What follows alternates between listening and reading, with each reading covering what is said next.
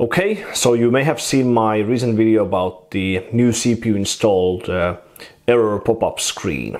And I in that video I told about my issues with that particular uh, error pop-up on my Rampage 3 Black Edition which I have used for many years now.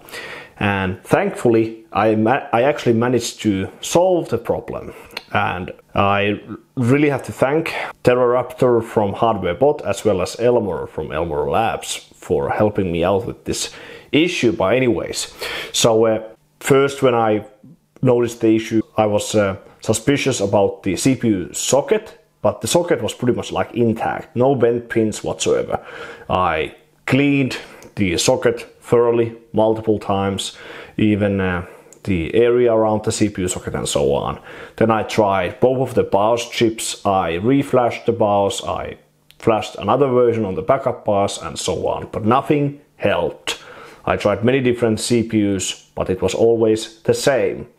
When I was asking around from like Elmor, Terraptor, other guys in the HardwareBot Discord, in the hardware repair section, some people were already like uh, they were they quickly started to uh, think about the socket occupied pin, which is the famous pin. If you have watched my uh, uh, Coffee Lake in Z170 or Z270 uh, motherboard, um, like modding uh, videos.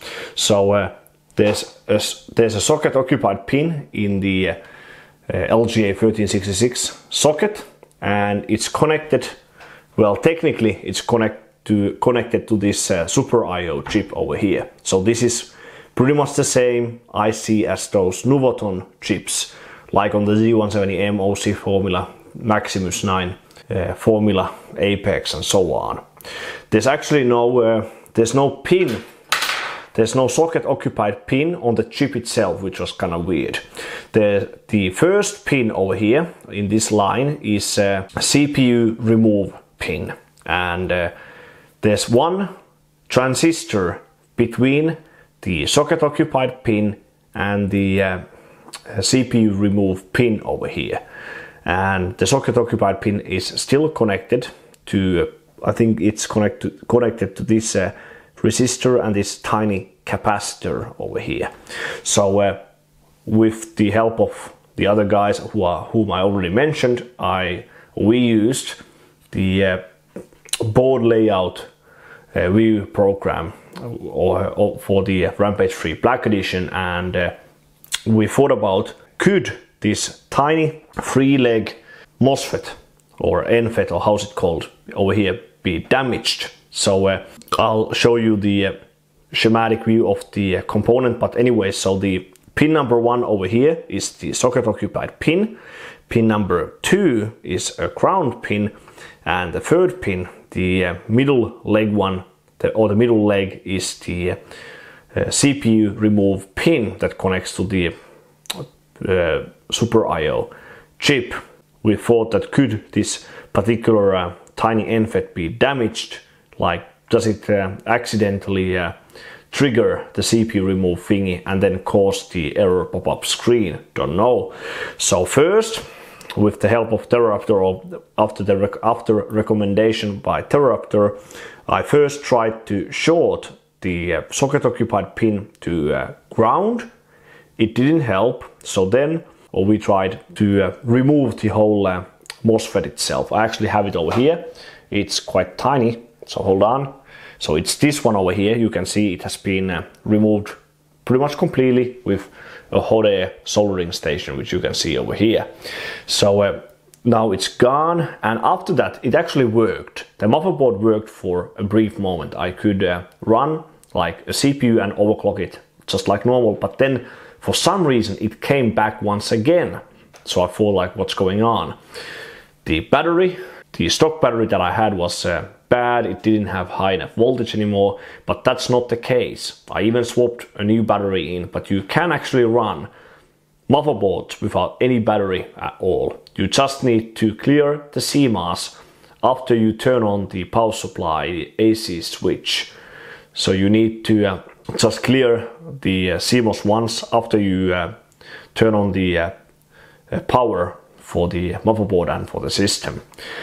So then, as uh, that didn't work anymore, I thought like, what what should I do? So after that point, I worked on my own.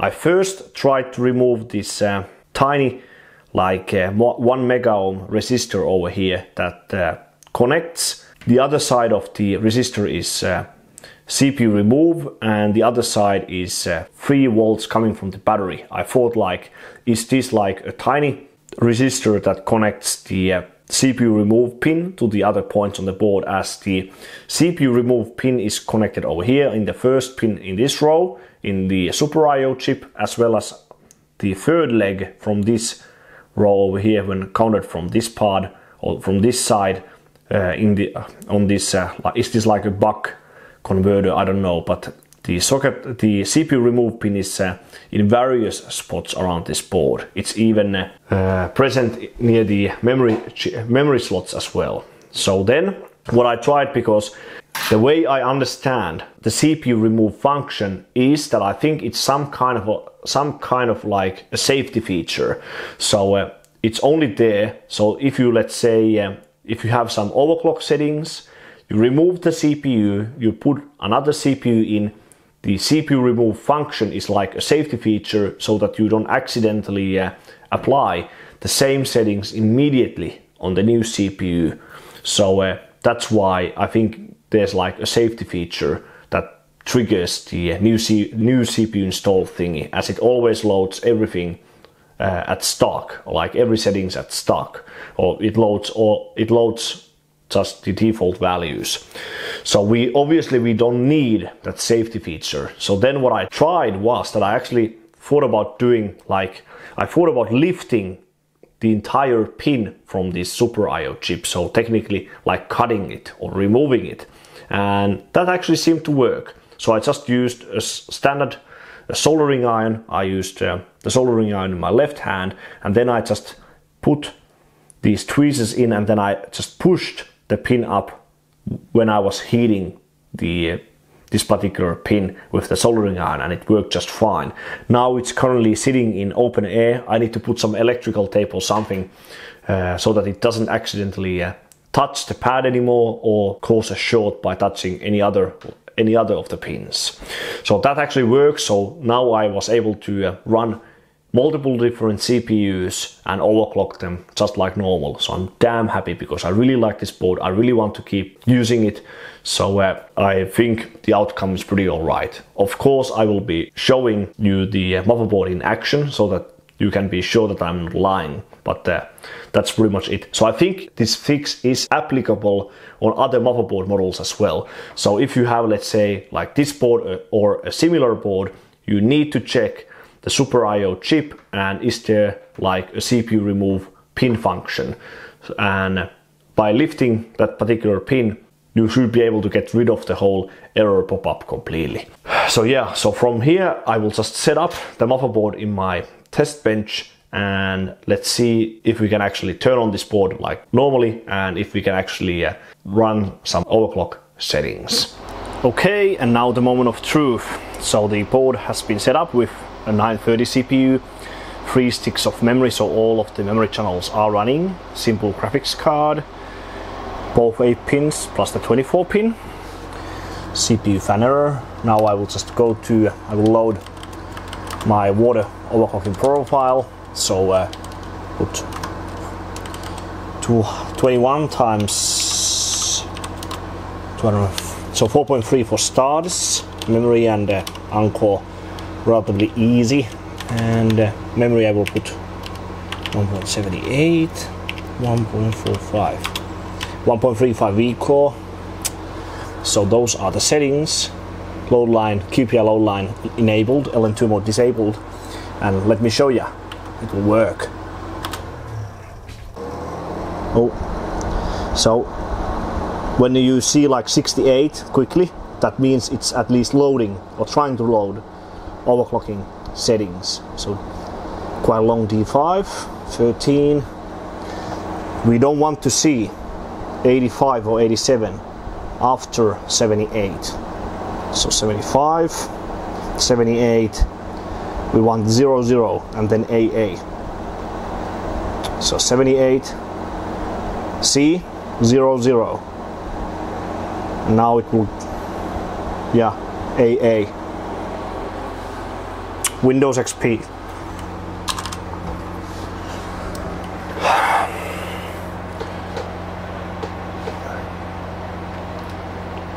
now we're here we are in the operating system.